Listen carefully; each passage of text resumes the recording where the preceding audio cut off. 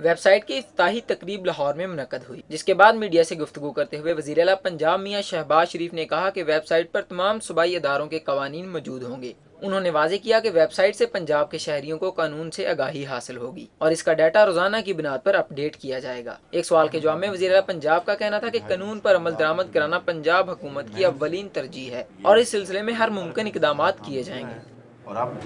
कोई भी शहरी पंजाब से या पूरे पाकिस्तान से या इंटरनेशनल दुनिया में जो भी किसी भी कानून को